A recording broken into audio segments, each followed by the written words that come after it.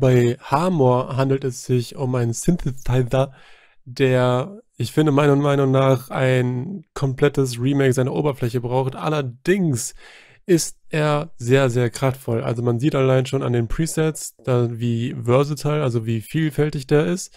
Hier könnt ihr halt alles von Pads zu Bass zu ähm, Keyboards rausholen. Allerdings ist halt die Oberfläche ein bisschen nicht anfängerfreundlich. Deswegen würde ich euch es an, schon ans Herz legen. Man kann hier auf jeden Fall alles rausholen. Ich glaube, hier kann man sogar eine Rakete bauen, die Schach spielt. Allerdings würde ich für den Anfang eher zu Harmless raten, weil Harmor, Harmless, Harmless sieht äh, nochmal ein bisschen ordentlich aus. Aber hier ist das Ergebnis eigentlich schon...